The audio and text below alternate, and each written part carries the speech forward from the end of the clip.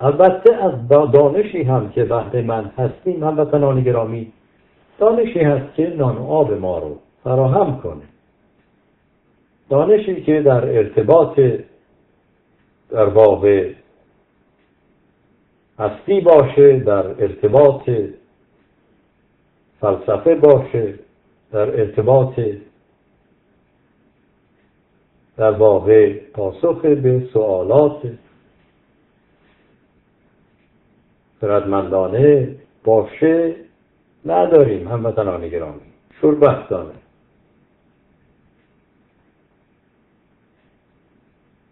من در ارتباط یکی از هموطنانی که از طرفداران رضا پهلوی هستند و نمی‌خوام نام ببرم و گاهی زنگ می‌زنن و لطف می‌کنن.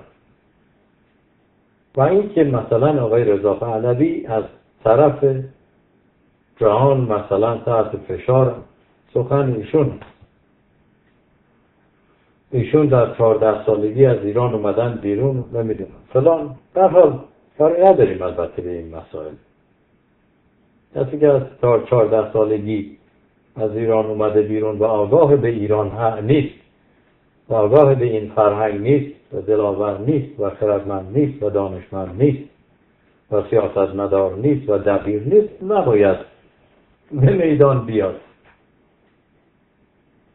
کسی باید به میدان بیاد که توان مبارزه رو داره و می‌تونه ارزیابی کنه و می‌تونه در واقع از کیان یک ملت دفاع کنه. و مهمتر از همه از کیان خانوادهش باید دفاع کنه. کسی که نام پدر رو فراموش می‌کنه هموطنان گرامی و کسی که شرم می‌کنه از پدرش. یا باید شناخت دقیق از پدرش نداشته باشه. و یا اینکه راستی دنبال مسائل دیگری هست و ماورای ارزش های انسانی.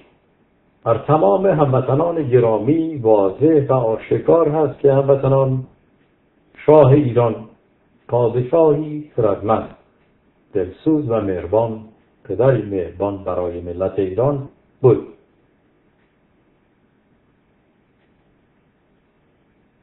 ولی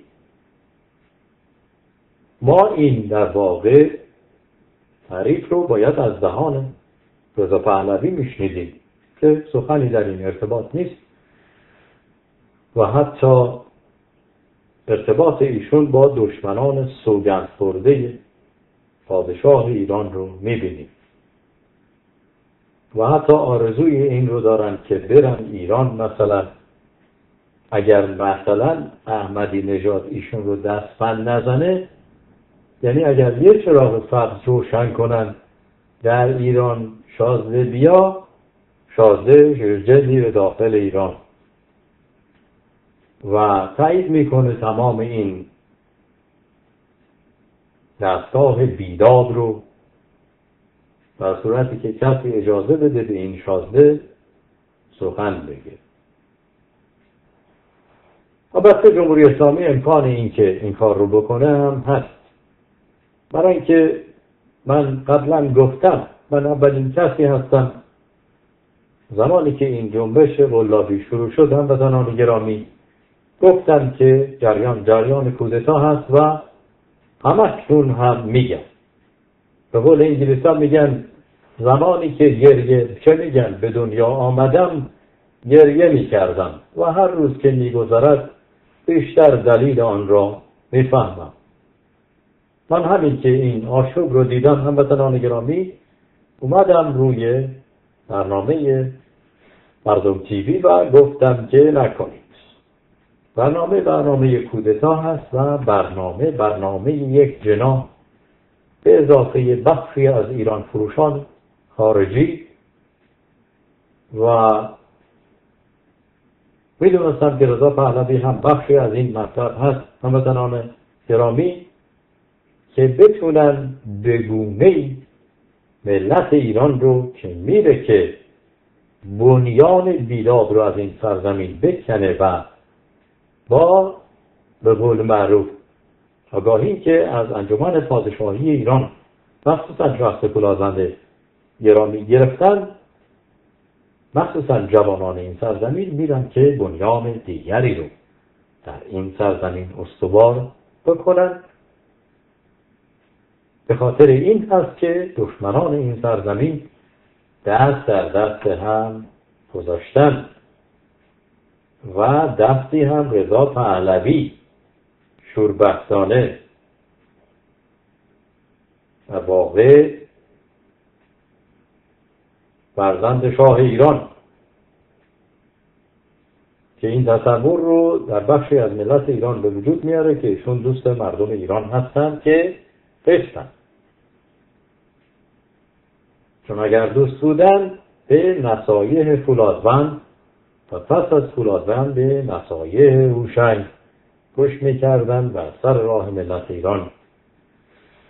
کنار می‌رفتند که نرفتند.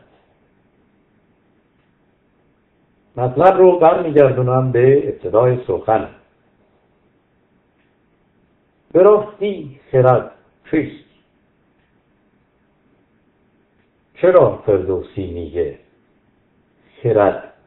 جان پاک است و ایزد گواست. میگه نباشد. خرد جان نباشد رواست. خرد جان پاک است و ایزد گواست. هموطنان گرامی من نمی‌خوام به راستی درس بدم اینجا. من نمی‌خوام درس نمی‌دونم. جامعه شناسی بدم نمی‌دونم. فیزیک کوانتومی درس بدم نمی‌خوام هموطنان گرامی من همین مسائل ساده رو میگم.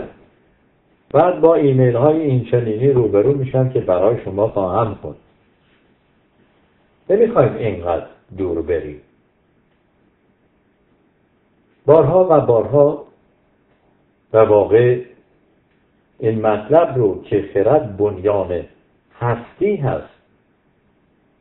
توضیح دادم و کسی متوجه این نیست. همه فکر می‌کنن که حالا که ما انسان هستیم خرد و همه رو ما داریم. نه. خرد رو گاو هم داره. خرد رو درخت هم داره. هموطنان گرامی خرد رو یک موجود تک سلولی هم داره. پشه هم داره.